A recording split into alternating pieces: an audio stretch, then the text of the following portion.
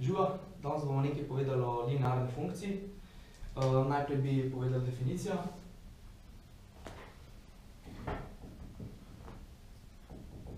Uh, linearna funkcija je realna funkcija,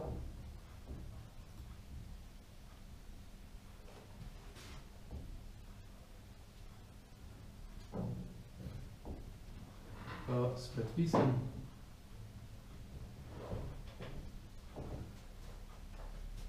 f od x je kx plus n. Um, k mu rečemo smerni koeficient.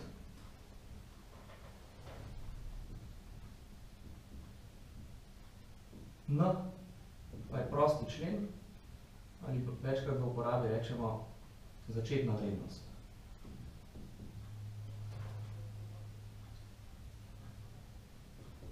Kaj nam pove, kako je linearna funkcija, kako je ta premica, kakšen ima pač naklon, ali je bolj strma ali je bolj porožna. In če recimo pogledamo na zgledu, pa rečemo, ne vem, f od x je x plus ena.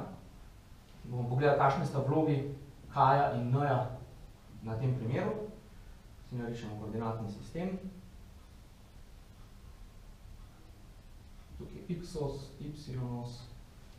Torej, začetna vrednost ali prosti člen, ga vidimo v tem našem primeru, je ena.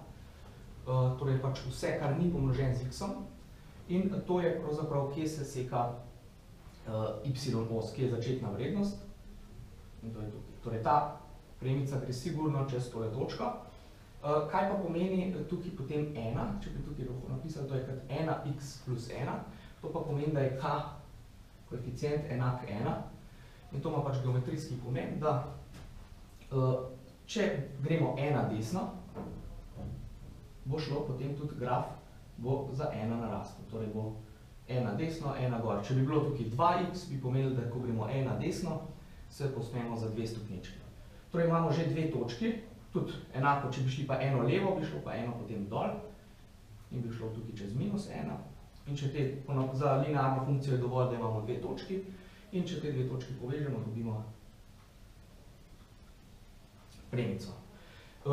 Nekateri imajo raje, da si tudi napišejo tabelo, mogoče je to tudi mogoče bolj tak računski, računski del, tudi niti treba vedeti v bistvu tele vloge, kaj pomeni k, ampak vseeno, če si napišemo tabelo, lahko kakorkoli vržemo, kakršenkoli x vržemo not, bomo dobili, koliko je y. Recimo, če vržemo zdaj, vem, tri noter, dobimo, da je y tri krat ena plus ena in je to štiri. In bi vpisali to točko noter, tri, štiri in bi dobili pač poljubno točko, ki si jo izberemo. Torej, če je k torej ena, bojo vse premice, ki bojo imele enak k, torej enak naklonski kot, in torej, če bi pogledali zdaj še drug primer, recimo f od x je x plus tri, to pomeni, da bo ta funkcija vzporedna našemu prvemu primeru, le da bo malce višje. Torej, bo začetna vrednost bo tri, torej bo šla čez tole točko, še vedno pa bo, ko bomo šli ena desno, bomo šli ena gor, ko bomo šli ena levo, bomo šli ena dol in dobimo vzporedno premico tej. Tako da, kakorkoli vedno vidimo, da če je koeficient enak pri funkcijah, bo premica vzporedna. Kako pa izračunamo koeficient, recimo, če imamo dve točki, če imamo recimo, dajmo malo pobrisati najprej.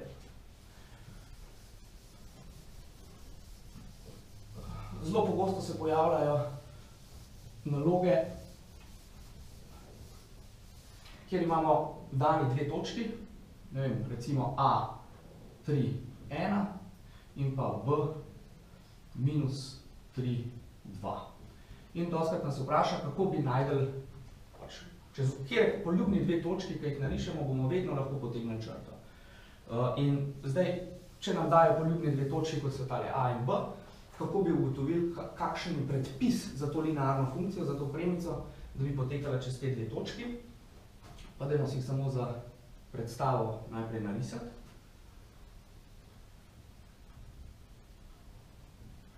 Torej, A je 3, 1, B je pa minus 3, 2. Torej, nekje je 2, tukaj je minus 3. In torej, kakšen bi bil predpis za tole funkcijo? Ok, torej, kot smo prej povedali, kaj je koeficient, da je to, če gremo ena desno, gledamo, koliko se spremeni vrednost na y osi. Če bi to pogledali s formulo, je to v bistvu sprememba y-na ulomljeno s sprememba x. Torej, to pomeni, da je to y2 minus y1 deljeno z x2 minus x1. In zdaj, če pogledamo na našem primeru, izbrati si moramo samo, kaj je, katera je x1, y1, to mora biti koordinati od istih, recimo tri bo x1, ena bo y1, v drugi točki bomo pa rekli, to je x2 in to je y2. Torej, zdaj najprej, če dobimo koeficient, smo že na dobri poti do tega, da dobimo predpis za to linearno funkcijo.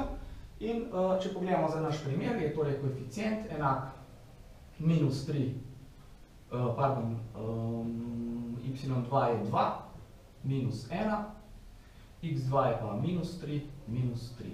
In dobimo, da je koeficient ena deljeno z minus šest in to je minus ena šestina. Torej, mi zdaj že vemo, da tale premica, ki smo čez te dve točki, ima predpis minus ena šestina x plus n. In zdaj naša edina stvar, kar moramo še ugotoviti, da dobimo, ugotovimo, koliko je ta naša začetna vrednost oziroma prosti člen. No in zdaj, ko imamo y je minus ena šestina x plus n, nas edino, kar nas še zanima, je, koliko je n. In n bomo dobili tako, da vržemo kjerokoli točko v to enačbo in namesto y-na tukaj zdaj bomo pisali, bomo vrgli točko a. ena je minus ena šestina krat tri plus n. Okej? In zdaj, če to poračunamo oziroma ven izrazimo n, dobimo n je ena plus ena polovica. Torej, minus ena šestina krat tri je minus ena polovica, ko smo dali na drugo stran, je ena polovica. Torej, n je tri polovice.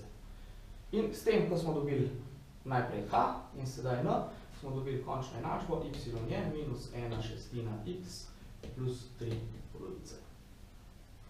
In to je rezultat. Okej? Zaenkrat sem pokazal le, to je eksplicitna oblika linearne funkcije.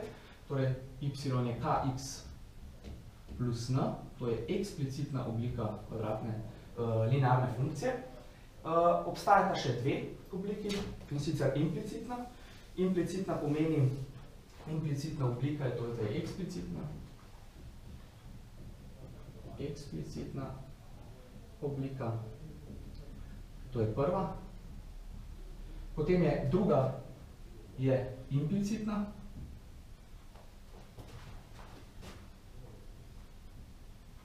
Implicitna oblika,